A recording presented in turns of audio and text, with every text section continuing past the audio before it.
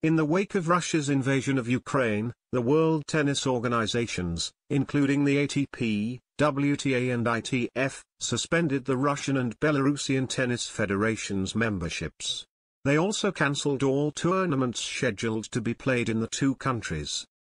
Ukraine's number one player Elina Svitolina and others representing the country have since come forward with calls for unity and support.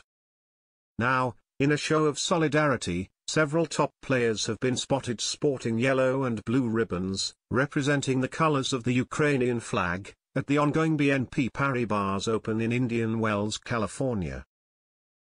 Apart from Svitolina herself, others sporting the ribbon during their matches included Petra Kvitova, Iga Swiatek, Alizé Cornet, and Belinda Bencic.